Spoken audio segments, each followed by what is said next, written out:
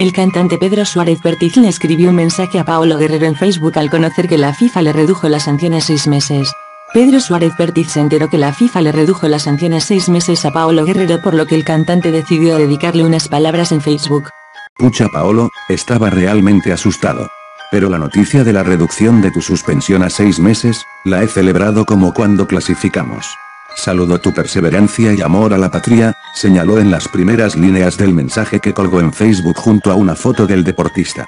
El intérprete peruano aconsejó a Paolo Guerrero que no desgaste haciendo juicios a las personas que lo difamaron o especularon los resultados. No pierdas energía enjuiciando a los babosos que te difamaron. Eres grande y ya estás con nosotros de nuevo. Gloria a Dios, sostuvo en la red social. Los fans de las dos figuras públicas compartieron inmediatamente y comentaron la publicación. La mayoría de mensajes dieron a conocer su apoyo a Paolo Guerrero y aplaudieron que esté en el Mundial de Rusia 2018. La reducción de la sanción a Paolo Guerrero, que le permitirá ir al Mundial Rusia 2018 con la selección peruana, fue el punto de partida para que los cibernautas hagan de las suyas y creen memes que rápidamente se viralizaron en redes sociales y que tienen como blanco de las burlas a Claudio Pizarro, Pepe, que y el momento político del país.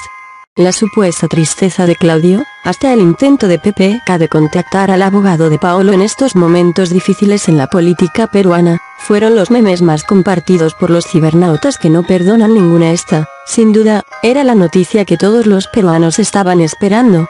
Las esperanzas de que Paolo Guerrero llegue al mundial parecía perdida, pero había una pequeña luz al final del túnel que parecía lejana. Pero este miércoles todo cambió para el bien del equipo de todos. Y toda noticia, si es buena, mejor aún, merece sus respectivos memes. Y estos no tardaron.